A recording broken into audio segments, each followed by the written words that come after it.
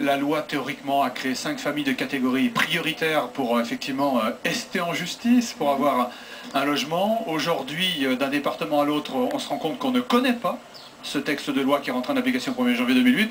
Et par conséquent, le bilan va être très contrasté, mais à mon avis, avec une constante, c'est qu'il y a beaucoup de familles demandeuses, demanderesses, et il y a très peu d'élus, puisque par exemple sur les Hauts-de-Seine, il y a eu 1600 dossiers déposés, trois familles qui ont été relogées, le Val-de-Marne, 1500 familles ont déposé un dossier, zéro relogement au bout de cinq mois. Alors qui ignore C'est l'administration qui ignore ce texte? Je crois que l'administration... de l'ignorer Madame Boutin a été un peu inquiète car euh, théoriquement 600 000 familles de France peuvent déposer un dossier. Or, comme ce sont des familles qui sont relogées par le préfet sur le contingent dont il dispose et qu'il en a 60 000 par an, ça voudrait dire qu'on doit écluser 10 ans de, de dossiers en quelque sorte qui seraient déposés. Donc on n'a surtout pas fait beaucoup d'informations. Mais est-ce que ça veut dire que la loi est mal faite, qu'il faut la retoucher? La loi a été faite dans la précipitation pour répondre à un phénomène médiatique qu'a très bien organisé une association au bord du canal Saint-Martin, que vous connaissez tous, et on n'a pas fait, Quichotte, ouais. on n'a pas fait en face le nombre de logements qu'il fallait. Du coup, on est obligé de réquisitionner les rares logements de libre qui existent aujourd'hui dans des organismes de logements sociaux sur les seules communes qui ont bien voulu en faire jusqu'à maintenant. Donc ce premier bilan va être l'occasion, pardon, Aurélie, de peut-être d'interpeller la ministre Christine Boutin pour lui demander de faire un peu plus pour faire beaucoup plus de logements en termes de construction, et puis alors mettre fin à une aberration, parce que tous nos concitoyens ont compris que si l'État ne pouvait pas reloger les familles qui étaient en droit d'être relogées aux yeux de la loi, elles bénéficieraient d'une amende que verserait l'État. En fait, c'est beaucoup plus compliqué que ça, puisqu'en fait, l'amende sera versée par l'État et versée à un fonds public géré par l'État. Donc il y a un affichage, mais dans les faits, la famille qui, y compris, sera reconnue par la loi comme prioritaire, si elle n'est pas relogée, restera dehors. Comment jugez-vous le, le volet logement et rénovation urbaine du plan banlieue?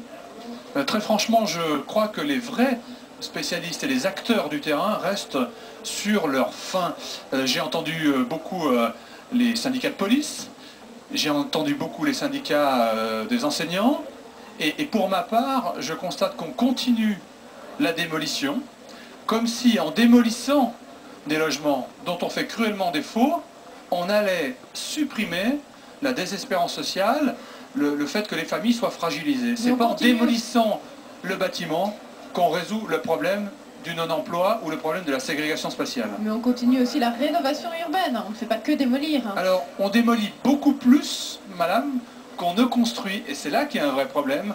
Parce qu'en même temps, comme l'acte de démolir coûte très cher, les crédits à la rénovation, à travers un produit qui s'appelle la Paléos, ont complètement disparu. Et aujourd'hui, les élus des territoires disent rendez-nous de l'argent pour y compris remettre en état des logements dont le bâti est sain, mais pour lequel il y a besoin d'avoir quelques crédits. Ah, Les socialistes sont à la tête de, nombreux conseils régionaux et généraux et de villes. Quelles actions peuvent-ils faire concrètement sur le terrain sur, en matière de logement? Alors bien évidemment, ils peuvent inciter la population à admettre qu'y compris dans son environnement, il faille construire de ce qu'on appelle des logements sociaux, en fait des logements qui sont acceptables compte tenu du loyer pour la majorité de la population, car il y a aussi un peu d'égoïsme de la part de la population.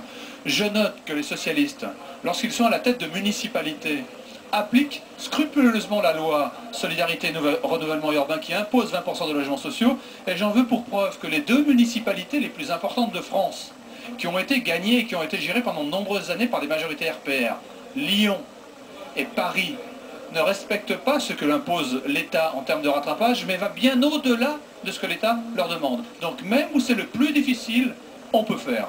Donc le pouvoir local peut être un contre-pouvoir. euh, là peut être aussi l'opposition à la politique gouvernementale? Hélas, il doit être le contre-pouvoir, et tout particulièrement en matière de logement, parce que on est sur un paradoxe, le logement est une compétence d'État, et l'État n'apporte que 2% des financements de la construction. Donc s'il n'y a pas les collectivités locales qui prennent le relais, la situation sera encore plus dramatique demain.